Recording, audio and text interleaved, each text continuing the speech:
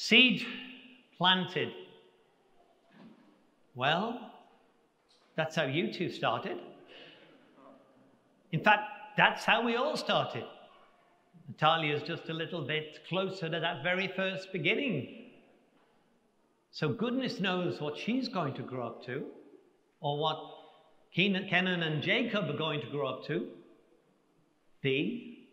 But we know that those who are influenced the most those who cooperated with God's plan and are cooperating with God's plan, wanting to bring your children up to, to, know, to know God, to know, to love, and to serve God, and to, to, to, to lead them to the fullness of life.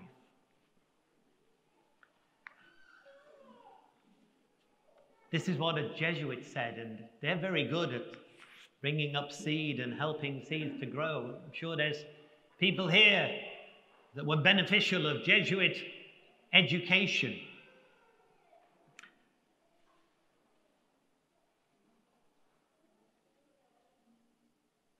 As a very young Jesuit, I was sent to observe teachers in schools.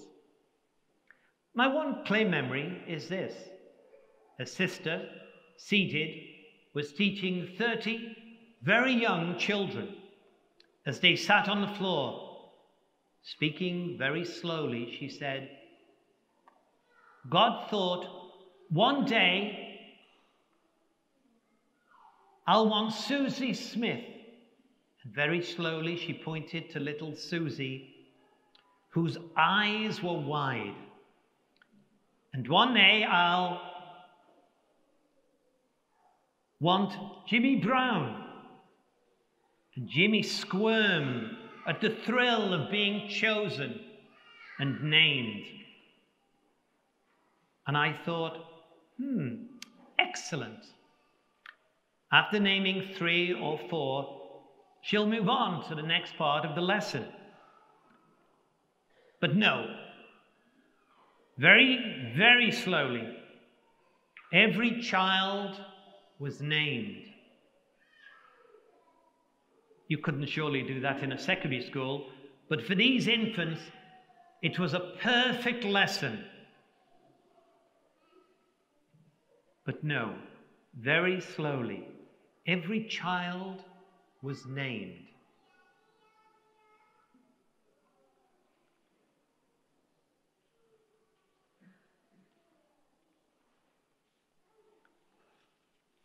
What a beautiful education.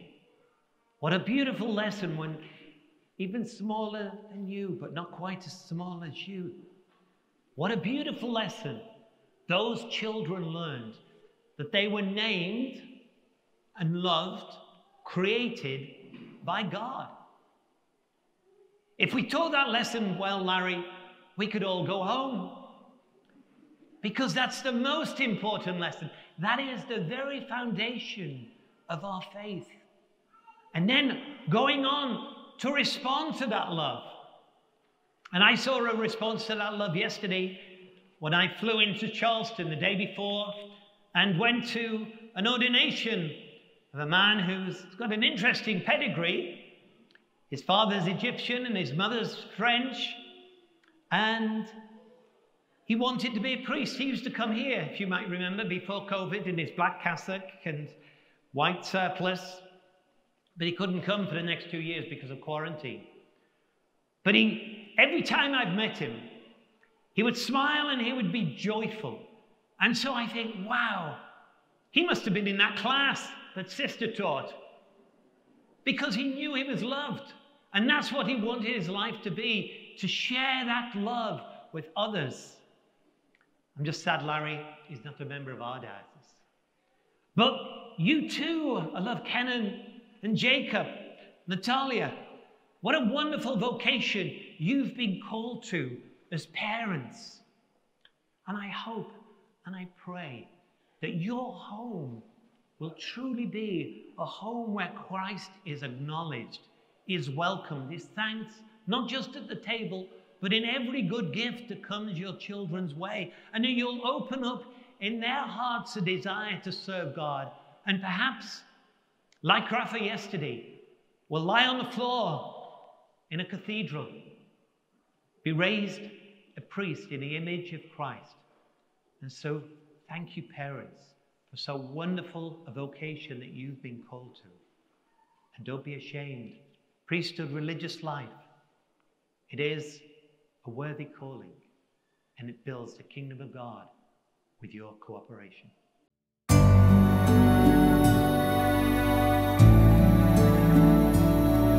Please like, subscribe, or comment below.